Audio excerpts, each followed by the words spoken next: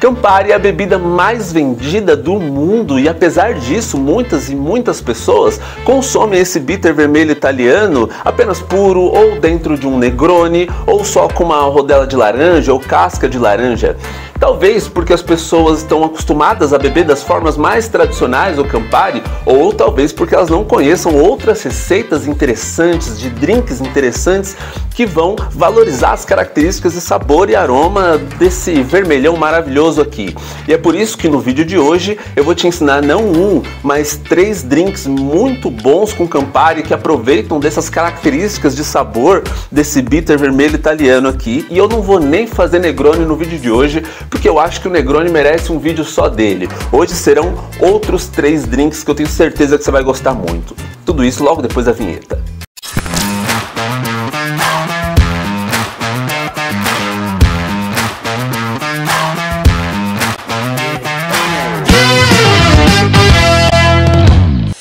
Que bom ter você aqui de volta no meu canal. Eu sei, eu também fazia um tempo que você não me via, faz um tempo desde o meu último vídeo, mas foi por um bom motivo. Na verdade, nesses últimos meses eu estava finalizando e lançando o meu novo curso de bartender, um curso onde eu ensino coquetelaria a nível profissional até para pessoas que não pretendem ser profissionais, pessoas que querem só fazer drink em casa, para os amigos ou para essas pessoas que querem se especializar e profissionalizar. É um curso super completo, super super didático que eu acabei de lançar e caso você queira conhecer, vocês aí, pessoas que estão o tempo todo me mandando mensagem, ah, eu queria fazer curso com você, mas pô, eu tenho que ir até Santo André, até São Paulo para poder fazer curso presencial com você, você não tem um produto online?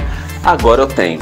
Se você quiser conhecer o meu curso, olha aí, o link está na descrição e também no comentário fixado bora para esse vídeo aqui. Bom, vamos lá. Campari. Campari é esse bitter vermelho italiano. Essa é uma nomenclatura que temos para esse tipo de bitter, esse tipo de bebida aqui. Não se sabe ao certo a receita do Campari, porque teoricamente ela é secreta. Acredita-se que envolve cascas de frutas cítricas como laranja, mas não dá para ter certeza porque, enfim, a receita teoricamente é secreta. Hoje eu vou te ensinar três drinks muito fáceis para fazer com Campari que você consegue reproduzir na sua casa, em qualquer lugar e beber essas maravilhas que são grandes clássicos muito bons mesmo. Então vem comigo aqui. Bom, nosso primeiro drink é o Garibaldi. Um drink tropical, um drink super refrescante, super saboroso, muito bom para você consumir em dias quentes. Vale muito a pena aprender e ele de todos é o mais fácil, o mais simples de fazer. Quer ver? Vem comigo aqui. A gente começa a nossa receita, na verdade, não com um copo longo, mas coqueteleira de vidro que eu uso para poder facilitar de você enxergar bem o que eu estou fazendo.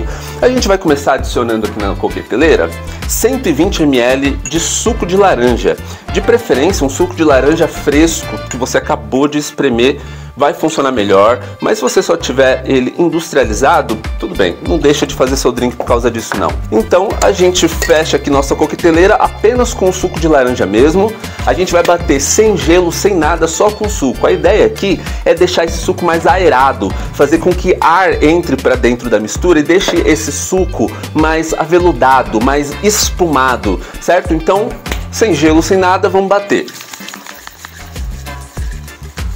Beleza. Olha lá. É o mesmo suco, só que agora ele está mais aerado, ele está meio espumando. Essa é a textura perfeita para fazer o Garibaldi, tá? Essa é a minha dica de ouro para esse drink aqui. Vamos pegar nosso copo e o gelo. Peguei aqui o gelo, já troquei de copo também, porque esse copo é menor e vai funcionar melhor para essa receita. Copos muito grandes vai ficar sobrando muito. Então, o gelo aqui podemos adicionar o nosso suco de laranja já pré-batido e para finalizar o Campari. Simples assim. Esse é um drink montado, super simples mesmo de fazer. Tô aqui derrubando tudo. E a gente vai colocar aqui 60 ml.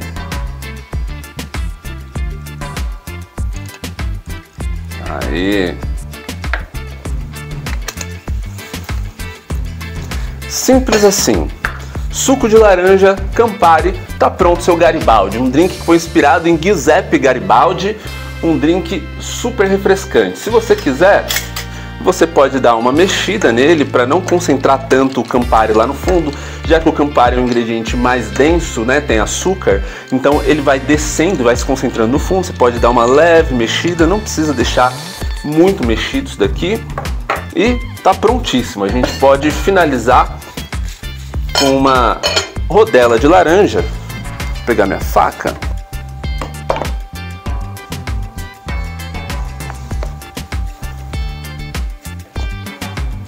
E colocar aqui no canto do copo e tá pronto o nosso Garibaldi, um drink super simples, super refrescante, vale muito a pena de provar, seja lá onde você estiver. Vamos provar? Hum, muito bom. Inclusive, vale muito a pena você bater esse suco de laranja antes para deixar mais aveludado o, a textura do suco de laranja. Vale a pena, tá? Faz uma diferença bem boa aqui no coquetel. Vamos pro próximo então. Vamos lá. O próximo drink aqui que eu vou fazer é o americano, um drink que ficou popular porque caiu nos gostos dos americanos que viajavam pela Europa, mais especificamente pela Itália. Por isso ficou conhecido como americano, drink dos americanos. Esse é o drink, a receita que popularizou antes do Campari, aliás, desculpa, antes do Negroni. Então o Negroni ele veio dessa receita aqui quando uma pessoa chega no bar e pede para fazer uma versão do Negroni, mas sem água com gás e sim com gin no lugar. Então basicamente isso aqui vai ser um Negroni sem gin, utilizando água com gás. É um drink mais leve, mais refrescante. Para você que gosta de Negroni é uma boa pedida. Então vamos colocar gelo no nosso copo. Vamos lá. Sempre uma boa quantidade de gelo, quanto mais gelo você usa, menor é o degelo no drink, menos ele vai ficar aguado. E vamos começar a adicionar nossos ingredientes. Eu vou começar direto pelo Campari e vão ser 40 ml.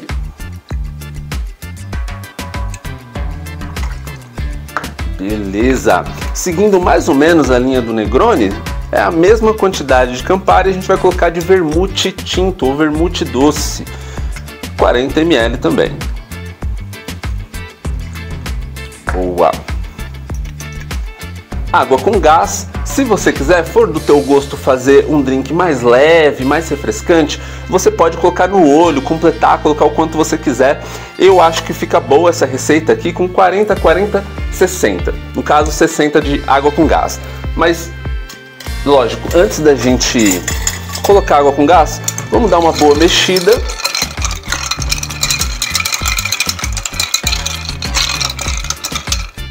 Isso vai ajudar a assentar os sabores, a misturar os sabores antes da gente colocar água com gás, para a gente não perder o gás da água né, aqui direto no, no nosso copo enquanto a gente vai mexendo.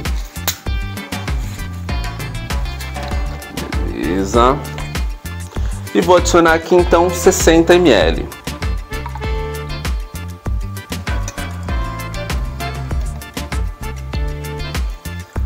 Beleza. Agora que tem um ingrediente gaseificado, eu vou dar uma mexida bem leve. Eu não quero desperdiçar o gás dessa água com gás aqui, né? Afinal. A gente finaliza com outra rodela de laranja. Que eu vou colocar aqui no cantinho e tá pronto. Tá prontíssimo o nosso americano. Esse drink é muito legal, ele é bem refrescante, vale muito a pena para quem gosta de Negroni aí, hein? Muito bom, muito bom mesmo. Ele mantém essa intensidade, esse sabor, as características de aroma do Campari, mas dá um toque mais refrescante pro drink. Pô, maravilhoso. Tá pronto o nosso segundo drink e vamos pro terceiro que costuma ser um pouco mais polêmico entre os puritanos do Campari. Esse aqui que é o Campari Sour, um drink muito bom, muito saboroso. Eu gosto muito que ele ainda mantém as características do Campari, mas dá um sabor totalmente diferente, bem intenso, bem encorpado. Vocês vão gostar, vem comigo. Então, coqueteleira, vamos começar já adicionando Campari. Eu gosto de fazer essa receita com 60 ml de Campari.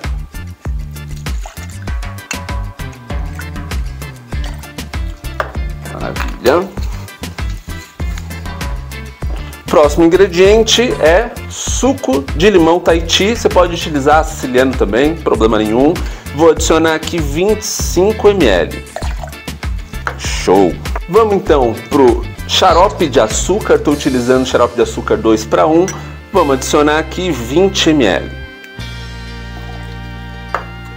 Beleza. E agora, nosso ingrediente mágico para essa receita aqui, que vai ser clara de ovo. Isso que vai dar espuma, vai dar textura para esse drink. Então eu vou tirar aqui uma clara de ovo in natura. Lembrando, se você for fazer esse drink no balcão de um bar para vendê-lo, você não pode utilizar o ovo in natura desse jeito aqui, ó, tirado direto de dentro do ovo. Você tem que usar a clara de ovo pasteurizada ou então albumina, enfim, qualquer outro emulsificante que você tiver. Então, vamos lá, vamos tirar essa clara de ovo daqui. Maravilha. Feito isso, a gente já pode jogar lá para dentro. Essa belezinha aqui. E vamos fechar nossa coqueteleira. E bora bater. Belezinha. Já deu para ver que espumou muito bem. A ideia é bater essa primeira vez sem gelo mesmo e agora sim a gente coloca gelo. Nosso gelo mais. Podemos então fechar de novo e agora sim a gente quer gelar essa bebida.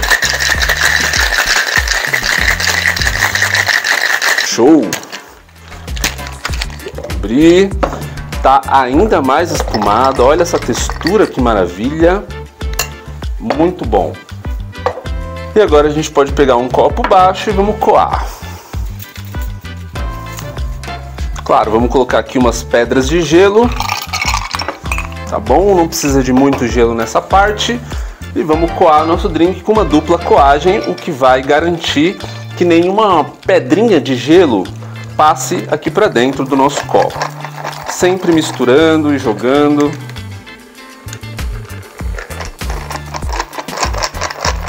E a gente vai ter essa espuma muito bonita aqui em cima do drink.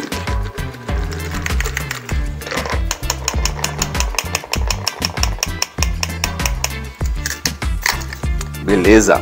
E tá pronto aqui o nosso Negroni Sour. A gente pode vir ainda aqui com uma angostura, um bitter aromático que você tiver. E vamos pingar umas gotinhas aqui por cima.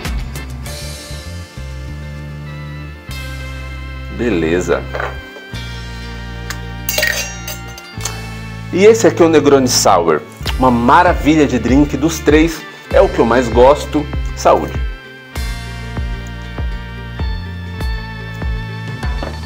Hum, maravilhoso. Inclusive, falei Negroni Sour, esse daqui é o nosso Campari Sour. Negroni Sour eu deixo para um outro dia para ensinar para vocês. Estão prontos aqui os nossos três drinks com Campari que eu ensinei aqui para vocês no vídeo de hoje. Espero que vocês tenham gostado. Conheçam o meu curso de bartender que está aqui na descrição e no comentário fixado. Eu vejo vocês então no próximo vídeo. Tchau, tchau.